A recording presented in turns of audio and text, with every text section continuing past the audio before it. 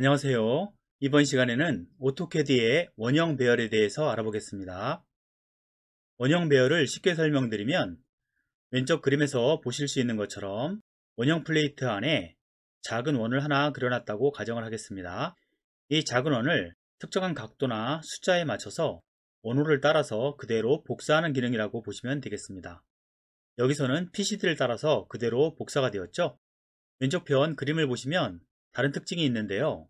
하나는 45도로 각도로 치수를 표시했습니다. 또 하나는 28.28처럼 일반적인 치수 기입으로 치수를 표기했습니다. 이렇게 설계사들이 두 가지 방식의 치수 기입을 사용하는데요. 이번 시간에 원형 배열을 이용해서 이 두 가지를 그려보도록 하겠습니다. 오른쪽을 보시면 제가 샘플을 준비했는데요. 똑같은 원형 플레이트에 녹색의 작은 원을 하나 그려놨습니다. 이 작은 원에는 센터 라인도 포함되어 있습니다. 그럼 직접 해보도록 하겠습니다. 위쪽을 보시면 수정 위에 원형 배열 아이콘이 있습니다. 왼쪽 마우스 버튼으로 클릭합니다. 그러면 대상을 선택하라고 나오는데요. 객체를 원만 선택하지 마시고 센터 라인까지 전부 다 선택을 해주시기 바랍니다.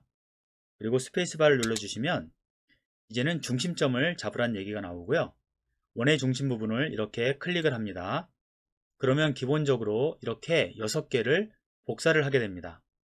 이런 경우에 당황하지 마시고 위쪽에 올라가 보시면 항목 부분에 6이라고 되어 있습니다. 그렇기 때문에 6개를 기본적으로 표현한 것이고요. 이 6을 지우고 나서 8을 입력하고 엔터를 치게 되면 대상이 8개로 바뀌게 됩니다. 바뀐 게 보이시죠? 그리고 밑에 부분을 보시게 되면 총 360도 각도를 8개로 나누게 되면 45도씩 끊어서 표현이 된다라는 뜻입니다. 이해가 되시죠? 또 오른쪽에 보시면 행이 있는데요. 여기에서 행은 겹을 얘기합니다. 한 겹, 두 겹, 이렇게 겹을 얘기하는데요. 현재는 한 겹으로 되어 있죠.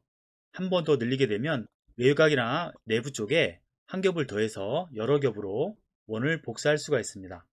그러면 왼쪽에서 보신 것처럼 각도로 표시를 해야 되는데요. 지금 완성된 그림을 보게 되면 기본적으로 센터 라인이 각도 방향에 맞춰서 기울어져 있습니다. 이것을 지각으로 세울 수도 있고 각도로 사용할 수도 있는데요. 그 기능은 위쪽 메뉴를 보시면 항목 회전이라는 곳을 이용하면 되겠습니다. 항목 회전을 클릭하시게 되면 이렇게 해제가 되면서 직각으로 서게 됩니다. 항목 회전을 마우스 왼쪽 버튼으로 클릭하셔서 선택을 하시게 되면 다시 이렇게 각도에 맞춰서 기울어지는 것을 볼 수 있습니다.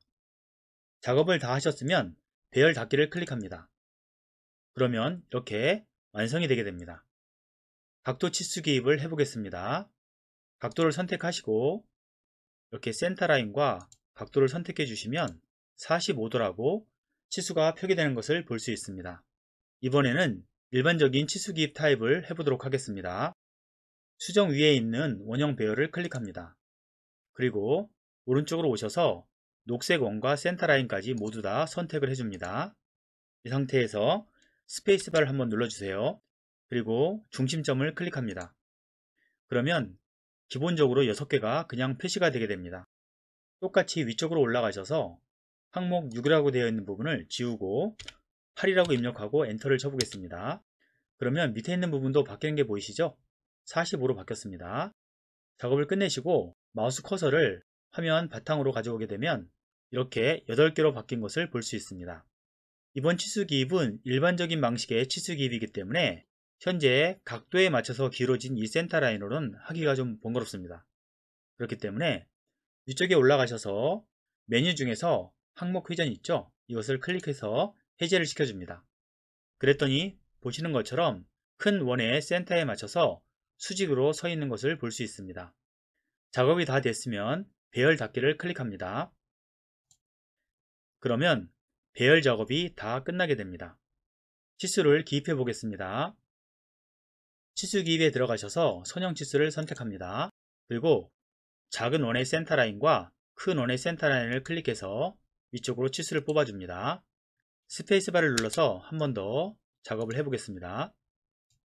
그러면 이렇게 일반적인 방식의 치수 기입을 할 수 있습니다. 오늘은 각도 방식의 치수 기입과 일반적인 방식의 치수 기입을 할 수 있게 배열 작업을 하는 것을 해봤습니다. 지금까지 설명드린 것 도움이 되셨나요? 이번 시간은 여기까지 하도록 하겠습니다.